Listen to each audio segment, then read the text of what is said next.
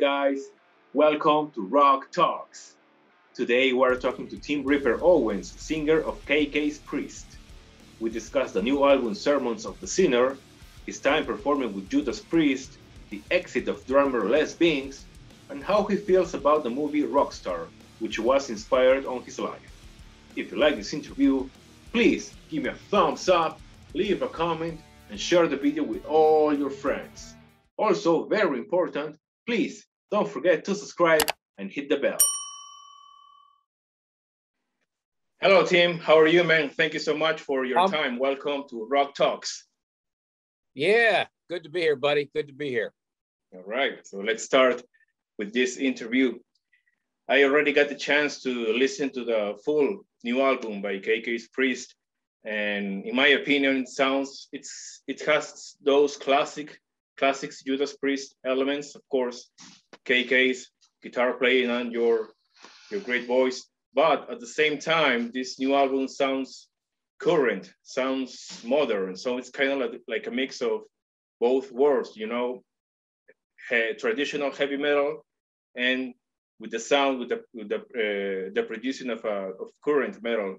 Uh, do you agree about this? Yeah, yeah. I think uh, I think it's great because it it just sounds like heavy metal to me. You know, I think it really has just a a, a classic metal sound, but um, you know, you have to add.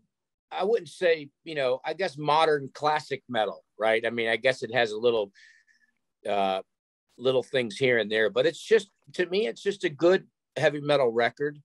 Um, you know, I, I think Ken just sat down and wrote what he how he writes, you know, whatever came to him, but that's how he writes, you know. And uh, I think a big thing is bringing in um, the guys we brought in with AJ and and and Sean, and uh, you know, it really uh, it really added. Uh, you know, you get the young fellows in there, and uh, you know, just it just makes it. You know, and you know, Tony's bass playing and production's great. You know, it's nice to hear the bass on the on the album too. You know, there's a lot of great bass lines, so it's nice yeah. to hear it. Sounds powerful with the bass. Right yeah. front. Yeah. Right. So how would you how would you describe the chemistry with, with KK uh, on the studio while making this this album? Well, it's great. I mean, you know, we're friends, and um, uh, as I am with all the Judas Priest guys, but but you know, uh, I, you know, we've always got along so well. So, you know, just getting him and I just getting together is just, you know, easy. You know, you just kind of get together and do it. It's not even like we've been apart. Uh, it's, you know, he knows that I'm easy to work with and he's easy to work with. And, you know, and I think the big thing that helps is he's known Tony for a bit now. And AJ and, and KK go back quite a ways. AJ was in a band hostile that that ken was working with and helping out. And uh, and then i'm good friends with sean because he's the drummer of the three the three tremors which has a new record coming out now as well.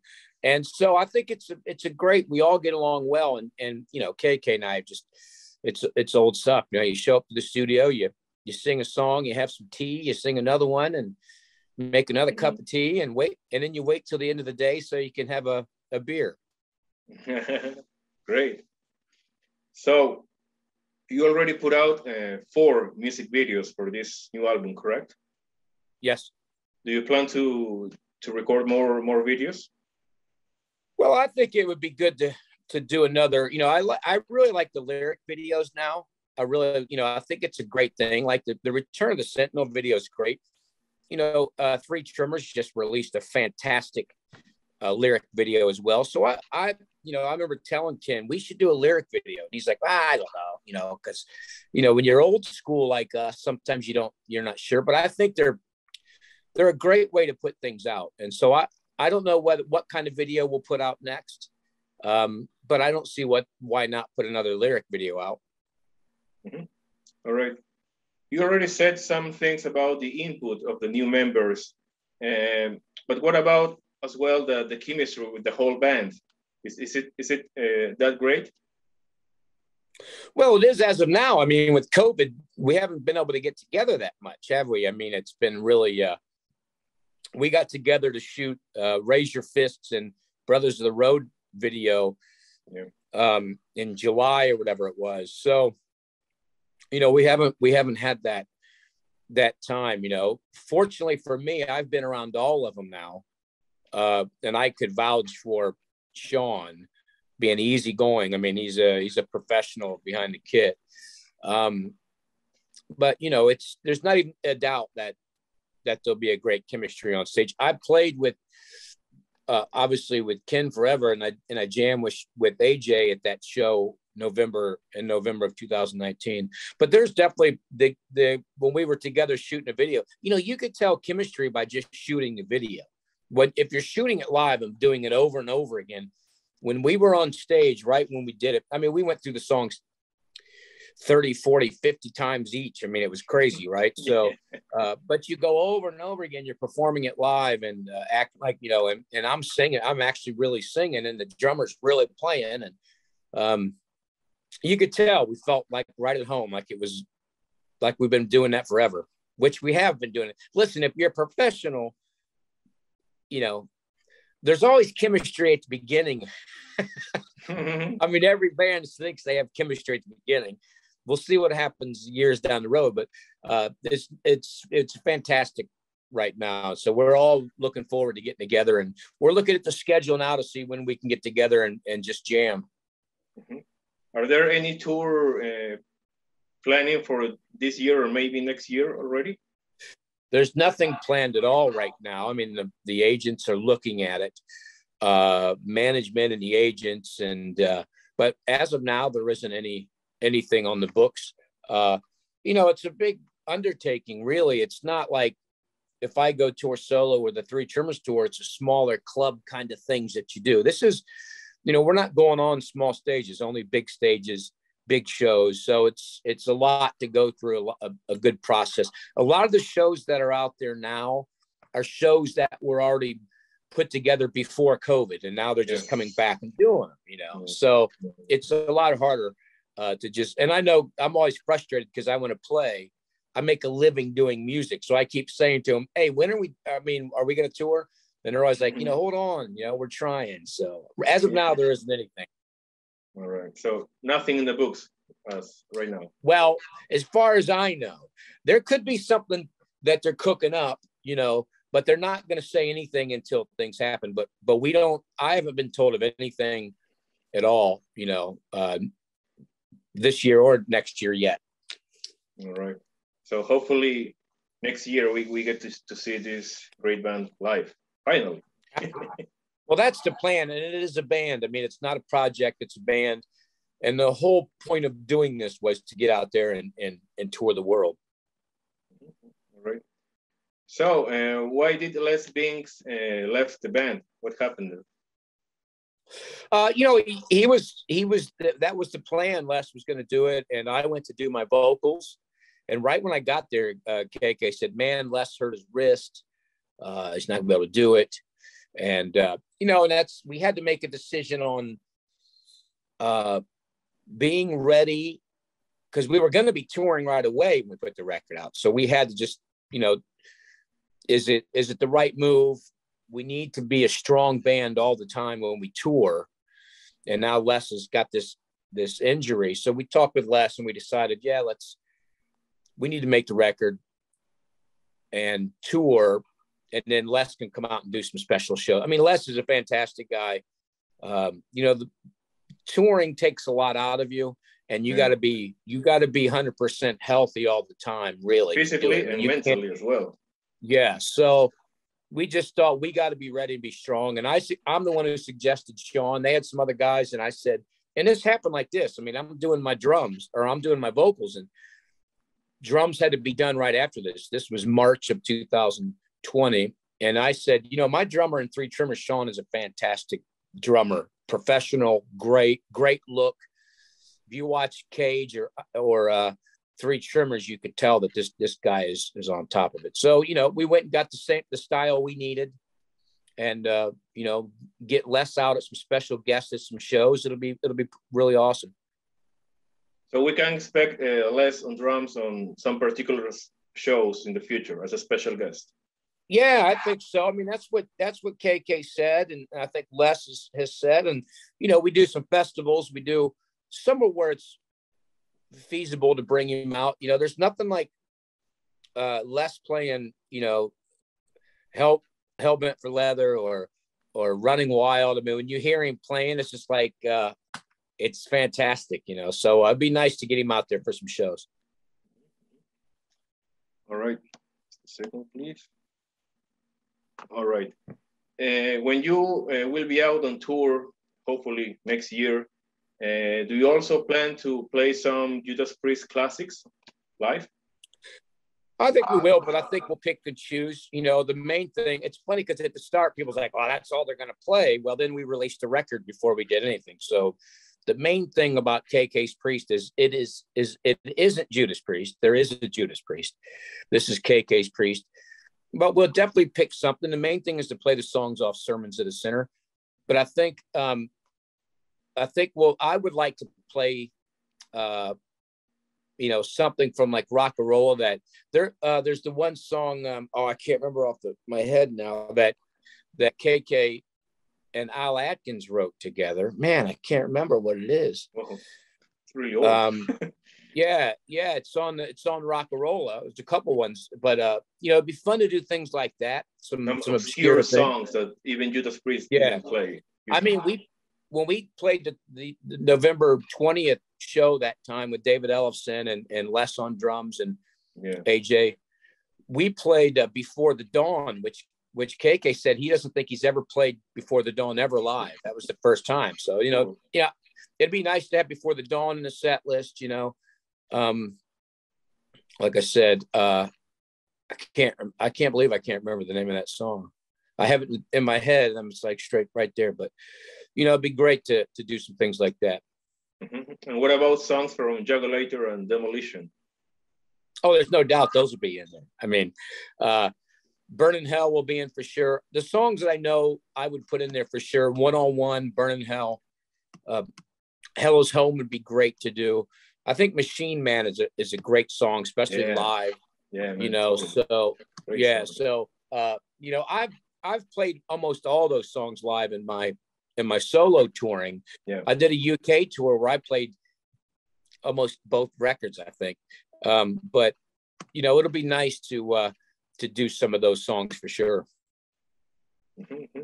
So it's going to be a, a long set. Uh, classic Judas Priest, Tim Ripper Owens, a Priest, and the new album as well.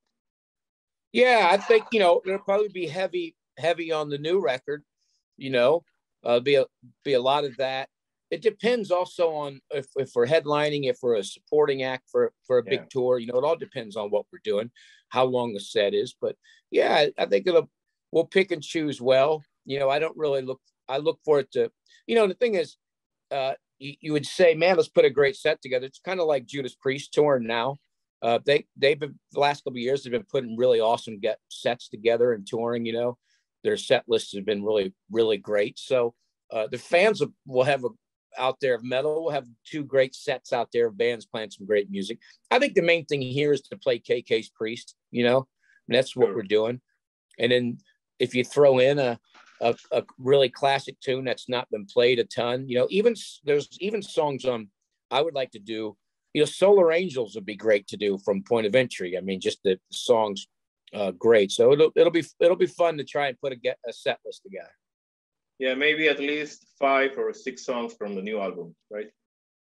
I would think so. Yeah, I would think. I don't think there's any doubt about it because the main thing that we're doing is we're trying to push this band, right? I mean, you got to you got to play songs that uh, KK's written in the past and his history, and songs from my history from from that.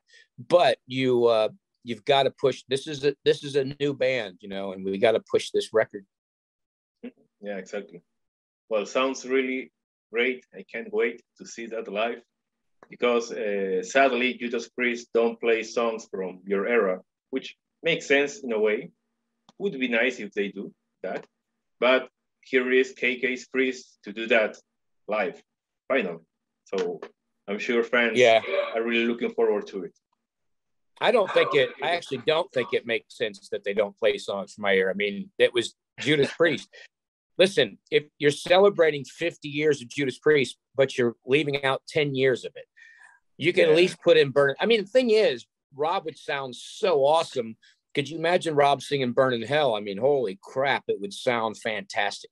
So, you know, there's nothing wrong with, with sticking in uh, Burn in Hell in, in a set list, you know. Um, it was right in the middle there. So, you know, I don't know. But it's uh, they have a great set list they're playing right now, so it's pretty awesome to to, to see them. Yeah, I, I agree with you. That's why I said in a way, I kind I kind of get it. Yeah. Because uh, some other bands like Anthrax uh, did the same thing. You know, they were celebrating 40 years of, uh, of being a band, and they put out this uh, special streaming live event and everybody was hoping to see some John Bush era songs with John, or at least with Joey Belladonna singing those songs from the 90s. But didn't they didn't play any of those songs, and it was like, how is this how is this a celebration of four years if you are if you yeah. lived over like 13 years out? I was fortunate enough to see Anthrax on tour, and they actually, and Joey actually sang John Bush songs, so a couple songs. So it was pretty cool to watch him do it. But uh, you know, it's their choice; they can do it. Uh, they don't want to do it ever. It's amazing they've never Judas Priest has never done it. They don't always have to do it, but it's amazing that they've never done it. I mean, Rob's never heard uh, yeah, um, sure. Rob's never Rob supposedly he's never heard my era Judas Priest, and it's kind of all right because I've never actually listened to his solo stuff except Fight, so we're kind of even on it. after Fight, I've after Fight, I've I've not really listened to his stuff either, so it's kind it's of all draw. right. It's a draw for you. Guys. It's a draw. well, some other musicians say that. For example, I get the chance to interview Max Cavalera like uh, two times in the past and he said the same thing. You know, I, I didn't even listen to the Sepultura records with Iggor on drums before, uh, after I left uh, Sepultura. And I was like, well, to be really? listen, but I have listened to Judas Priest. I loved Firepower. I thought it was fantastic. Yeah. So it's not that I haven't. I just, when I was in Judas Priest, I didn't listen to a lot of stuff. So I really didn't listen to the Halford stuff uh, unless somebody had it on somewhere. Uh, I love Rob. Rob is uh, a friend and and a and a mentor and an idol. So I, you know, I uh, uh, Rob Halford, Ronnie James Dio are the two guys that really uh, uh inspired me. You know, so um, it, it's nothing against anything really. You just don't sometimes like Rob just didn't. It's not that I didn't want to. I just never did. You know what I mean? It's kind of like I'm in Judas Priest. There's no need. So, but I but after I left I I uh, I listened to the Judas Priest records, yeah. whether I liked them or not. I listened to them. it's all good, no drama here. All right. So uh, you already said that KK's Priest it's a, a, a band. It's not a project. So it's gonna be a full throttle from now on with KK's Priest. So my my question is, how long would you guys plan to do this band. And I'm asking this because KK is 69 years old. Yeah. Well, I mean, as, as long as we can or want to. I mean, I'll tell you, he's he's awful healthy and, and ready to rock. I mean, so uh, you know, you just do it. I mean, I do a lot of other things. I can't afford to just to just sit back and do KK's Priest unless they were touring all year long and paying me. So I got to do a lot of things. Three Tremors, uh, I just got done signing. Uh, I'm signing records CDs right now for Leviathan project that I did. I'm getting ready to sign for for uh, Pyramid, but when it comes to being available for everything, KK's Priest is the number one thing I'm available for. So if they say you cannot do anything from January to January, we you're ours. I am theirs, you know, because I am 100% in. And we'll do it as long as we can, you know. But on my off time, when I'm allowed to do something, I have to work, work, work, work on other stuff to, to make a living. But man, I am all for it. I love the record. I love Ken and the guys. So I'm I'm 100% in. So whenever they need me to do something and they have I have to be ready, they get they get the they get all of me. Yeah, yeah. It's your priority. That's great. So now, listen, you... I'm not getting I'm not getting any younger either. So, how how old are you, man? Uh, 54. Oh, you look younger. You're okay. yeah. Oh yeah, I'm a kid. All right. So you actually are already working on the second studio album, right? You, I think you said that you you are planning to release this second record for next year. Well, he's he's been doodling on some things, but I think once we get done with the promo run here, um, you know, it's hard now because daily, especially KK, he is working on um, uh, music, you know, uh, or work, you know, he's working on interviews for for this record. So he's really busy, but he's definitely put some ideas down. And I think once the press run slows down, probably coming up here in the winter, we'll, we'll he'll he'll probably be writing a lot more and sending me more, and we'll get together and start recording again. I mean, if we're not going to sit back and wait when the new year stop starts to uh, tour, we'll probably record in the meantime and start working on things. All right.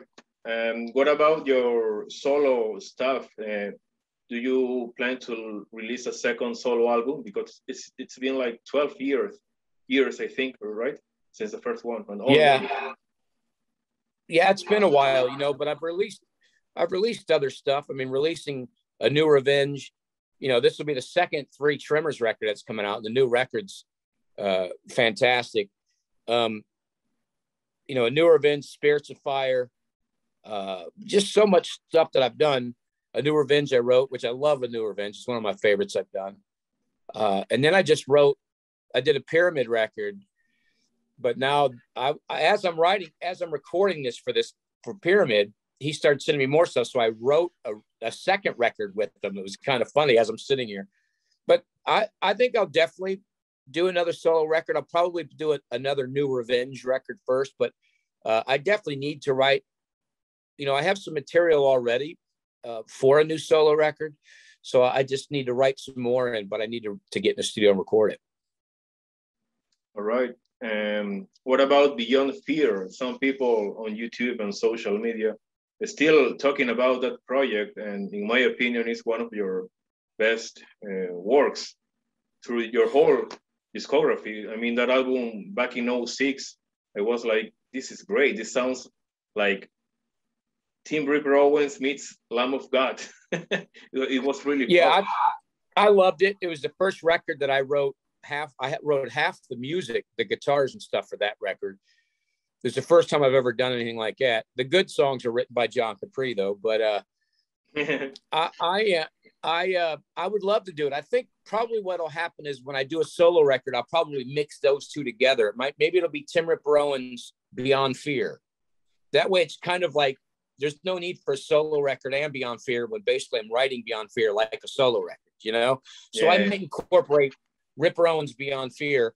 Get the guys. We actually had I was working on the other day some songs that we were going to do. Uh, but I really think now we just need to because we've you know it's hard to do a band like that. I know people loved it; they got great reviews, but you know financially, I have to be able to to uh, have backing and be able to do a record. You know, I mean, it's I'm not a young kid anymore to be able to just do a record for fun. Mm-hmm. Not that I don't do it for fun, but I'm going to have to pay the bills. I can't just sit there and uh, and do it. But we we should do it. I love one of my favorite records was Beyond Fear, uh, because it's just straightforward metal. Oh yeah, really, really heavy and catchy at the same time. So yeah. last, uh, next question. Uh, it's been already 20 years of the movie Rockstar. Where do you stand on the film nowadays? Well, I mean, I never liked it. Um, really, uh, it would, even that being said, it would have been nice to be paid from it a little bit. But you know, they took they took they bought the rights to the New York Times article about me. They were going to make oh. a movie about my about me, and uh, Warner Brothers and Judas Priest really didn't like what they were doing because they they wouldn't let us have any kind of creativity. You know, they just wanted to uh, make the make everything how they wanted, and the band didn't like that, so they pulled away. And then the movie made it a little, you know, a little bit about me and then made their own movie. It's cool that they wanted to. Uh, you know, but uh, it'd be nice to have a real movie about me. That would be pretty good to, to show. you know, you got to remember this was a horrible time of heavy metal. This was the mid 90s when heavy metal was really in the toilet, you know. Uh, and Judas Priest wasn't playing shows like in the movie, even on the painkiller tour at the end. You know, they were playing small crowds. They made it look like it was 1985 in these arenas and sex, drugs, and rock and roll. And it was like, no, it was it wasn't sex, drugs, and rock and roll in, in, in the 90s. It was let's play the show, let's go to a nice dinner. And uh that there we go. so you never saw a penny from from this film? No, no one ever did. And that's unfortunate. That's another there are some things that that Judas Priest did in my in my time, turning down Ozzfest, you know. Uh, oh, really? What year? I don't. I can't. When I can't remember. Uh, we turned down Ozzfest not definitely once, maybe two years in a row, because it was in August, and we we just never did it. Uh, and then probably uh, you know totally going away from the movie, so we didn't make any money, and they just still made the movie and made us look like buffoons, anyways. You know, so uh, at least we probably would have looked a little better if if we didn't piss them off.